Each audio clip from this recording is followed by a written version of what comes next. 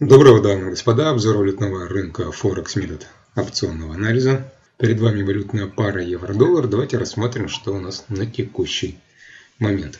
Итак, как мы видим, евро-доллар у нас добрался до верхней границы рынка, как и ожидалось, и до опционного уровня крупных игроков, от которого мы наблюдаем четкое отбитие. То есть за этим уровнем стоят хеджеры, которые открывают свои позиции на фьючерсах именно на продажу. То есть они опционом захеджились и открывают свои позиции на продажу. Рассчитывая на то, что 9 октября рынок будет закрываться ниже этого уровня. Чем ниже он закроется, тем больше они заработают. И все бы было хорошо, если бы не дальнейшие ожидания роста, которые у нас появлялись 30 сентября, 1 октября и вот сегодня появился недельный опцион с экспирацией 7 октября – который нам показывает, что есть ожидание роста до уровня 18627. Если мы с вами взглянем на расстановку стоп-ордеров по евро-доллару, то мы видим, что вот на этих объемах, как раз на 18 фигуре и за ее пределами имеются большие скопления стоп-ордеров, то есть вероятно вот это стоп-лоссы тех товарищей, которые вчера здесь продавали. Поэтому для дальнейшего похода вниз было бы интересно рассмотреть такую картину. Сейчас возможно некое падение вниз для сбора вот этих стоп-лоссиков, которые открывали покупочки и выставляли свои стоп-лоссы от ZD Extreme, вот в эту область. Собрать здесь ликвидность, отправиться вверх, собрать тут ликвидность и уже от новых опционных ожиданий с новыми заходами, с новыми силами уже отправиться вниз. Вот это был бы идеальный расклад который можно представить на ближайшее время, на эту неделю. Отсюда две торговые идеи. Первая торговая идея, первый сценарий – это падение цены до уровня 17.65, ну то есть примерно область 17.70, 17.60. И вот здесь поиск покупок при возникновении ваших каких-то паттернов. Поиск покупок до области, начиная с уровня 17 18.00, 18.20. Как он сочетается? Ну вот он 18.62, может даже выше пойти, да? Есть ожидания. То есть, начиная с области где-то 18.35 и заканчивая 18.93, вот в этой зеленой области очень хорошие моменты для поиска продаж, так как здесь у нас зеленая область 95% вероятности плюс кол ордера, свежий кол ордера с расчетом на, вероятно, э, на дальнейшее падение. Поэтому здесь хорошие моменты для поиска продаж. Ну, давайте с вами еще рассмотрим британский фунт. А остальные валютные пары австрал, канада, франк и японская иена вы сможете найти в группе Telegram. Ссылочка в описании под этим видео. Участие в группе бесплатное, ни к чему вас не обязывает. В этой группе я периодически выкладываю какие-то интересные моменты по валютам. Итак, британский фунт, ну, по нему особо ничего интересного нет.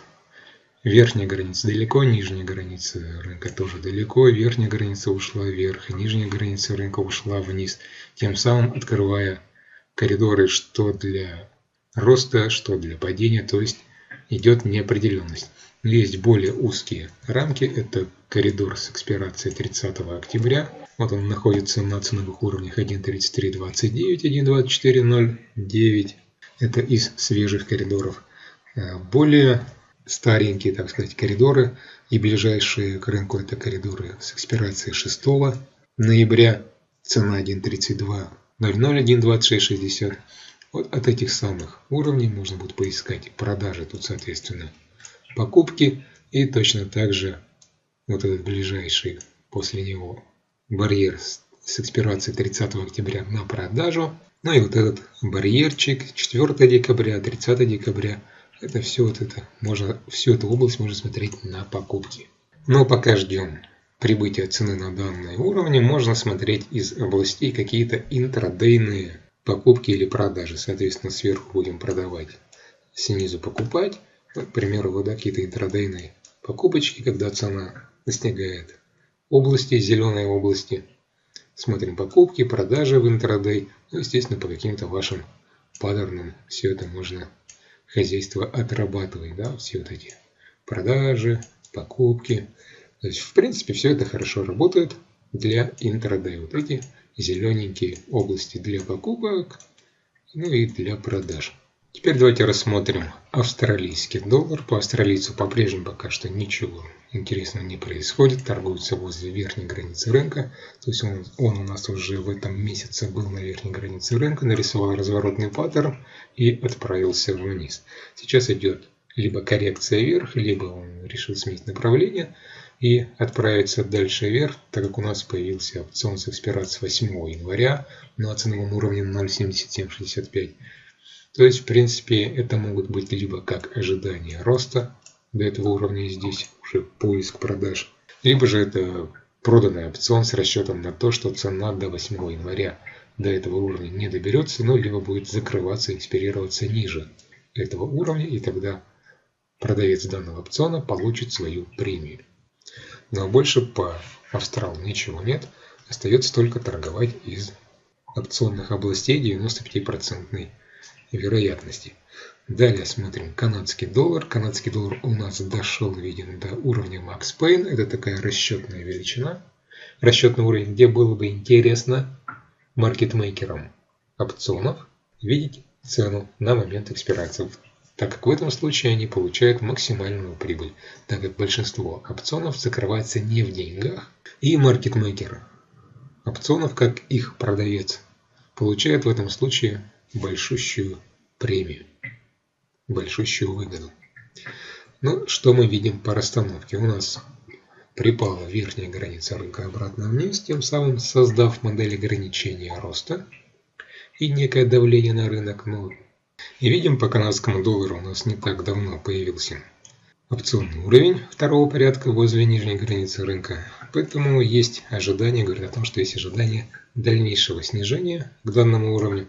Ну и здесь вот в этой области можно будет поискать покупочки.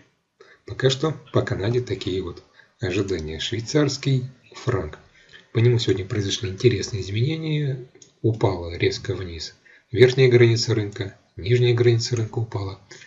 Это с одной стороны говорит о том, что идет давление на рынок, с другой стороны о том, что открывает дорогу для дальнейшего падения.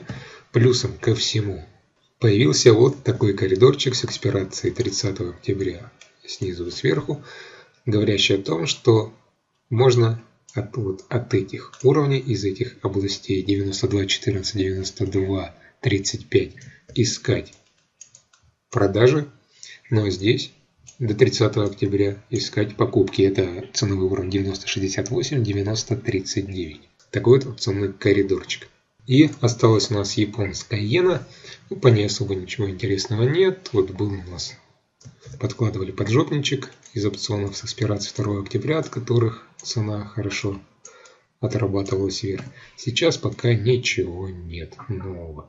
Ну, потом подложили вот опционы с экспирацией 6 ноября, но они пока что достаточно далеко, поэтому от этих уровней можно будет поискать покупочки. Вот этих уровней цена 104 39, 104, 06.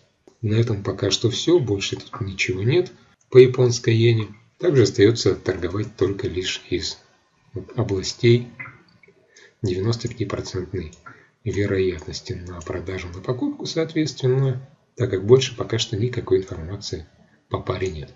А на этом все. Переходите в группу Telegram, где я практически ежедневно выкладываю какие-то интересные моменты по одной из валютных пар, по которым появляются торговые идеи. Ссылочка в описании под этим видео. Всем успехов, попутного тренда. Пока.